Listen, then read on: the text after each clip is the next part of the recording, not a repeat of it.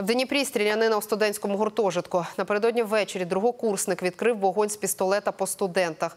Одна з куль влучила в голову 17-річній дівчині. Її одразу госпіталізували до обласної дитячої лікарні.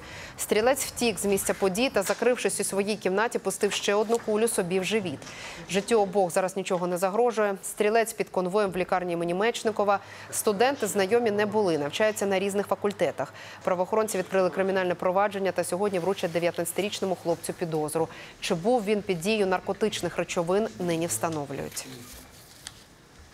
Ми сиділи, опять же почали сміятися, ми почули три хлопка. Потім він, ми опять сміялись, він вийшов і підійшов до Соні і сказав, я тебе предупреждав і вистрілив їй в голову. Ну, Соня встигла увернутися.